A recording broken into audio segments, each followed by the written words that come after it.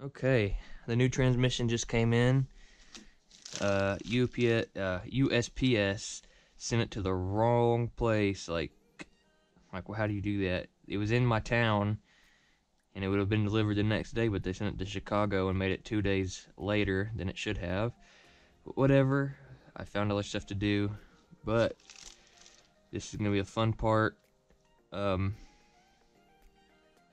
I'm not gonna record most of me rebuilding this motor because it's gonna take me a long time. I'm gonna have to be reading the manual and watching videos. Got most of the transmission gears out. I cut myself within two minutes of doing it. This JB Weld got inside of the case and I was peeling it off and it was really hard and it sliced me right open in a terrible spot because every time I bend my finger it reopens. But I'm gonna clear all that JB Weld out because we don't want that in there. I guarantee that's probably why the transmission gear broke because that JB Weld got in there and something broke off and then got in between the gears. Anyway, I'm gonna keep working. Okay, the transmission is back in. I got gasket maker on the case. I could have done better, but it's not that bad. Hopefully it seals because I'd hate to rip it apart again. But I'm put this back together and I'm gonna let it sit for about an hour. I'm gonna come back and start working on it again. All right, transmission and cases are all put in. Clutch and components, balancer, everything is put in. Hopefully it's done right. I'm pretty confident. I'm getting excited. I still have to put the flywheel back on and do the top end and all that, but we're making progress. I've been working on this thing since 1.30 this morning. Now it's 9 o'clock p.m. or 1.30 this afternoon, sorry, and now it's 9 p.m. So I took it apart a bunch of times. I made sure I was double checking and everything seems to be working. Everything shifts good, so but anyway, I'm not going to record much more because I just want to get it done and it takes way too long. I don't have that much GoPro life. Alright, got the clutch cover on with the new gasket. Starting to look good and look complete. And um, I got to do the flywheel and stator and then I got to do the top end. Might end up doing it tomorrow. It's like 10 something right now, so I'm about ready to relax for the day. But I'm hoping tomorrow, which is a Saturday, I'm hoping tomorrow I can have it running. That would be awesome. And hopefully it runs good and there's no problems. Alright, the motor is 100% completely together. And I'm nervous. But I got to get this thing back on the frame. This thing weighs like at least 9,000 pounds.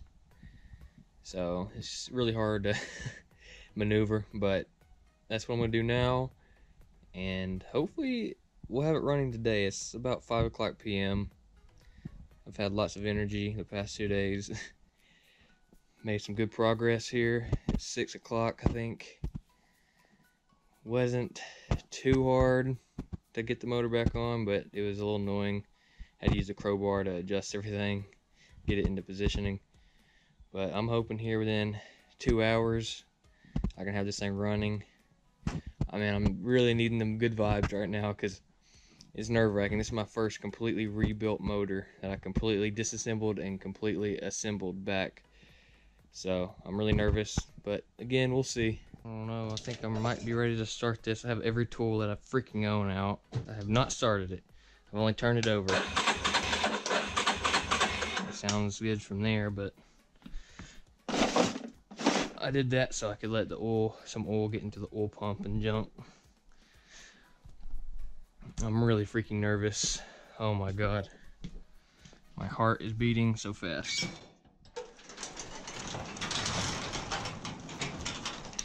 I'm totally gonna get wet, but I don't even care. Back tires are flat. I don't got the chain on it. Here goes nothing, I guess.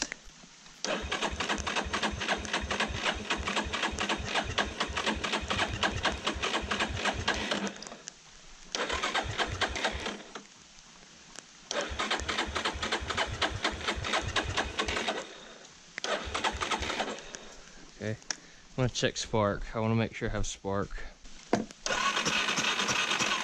Yeah, getting spark.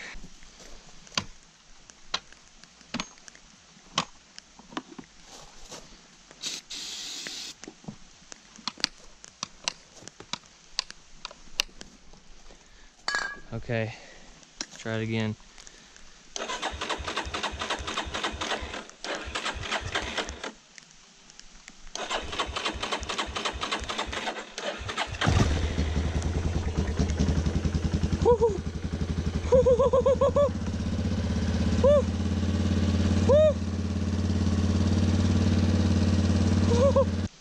Oh my god, please shift.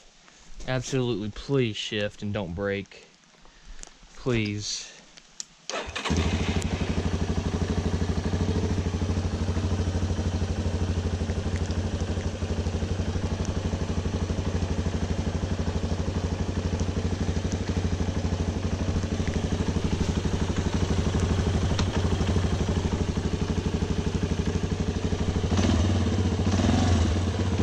Okay, it's moving. Okay, neutral. Back to first. Second. Third. Fourth. Fifth. Sixth. Oh my god. Oh my god, guys. Man, I can't believe it runs. But anyway, please like and subscribe. What are you doing, dog? Please like and subscribe and show me some support, please. I rebuilt this motor because I know a lot of people were interested in this Raptor. Uh, I had it actually had it listed for sale, but I decided to just fix it myself. But anyway, I'm gonna put the chain on and hopefully ride it.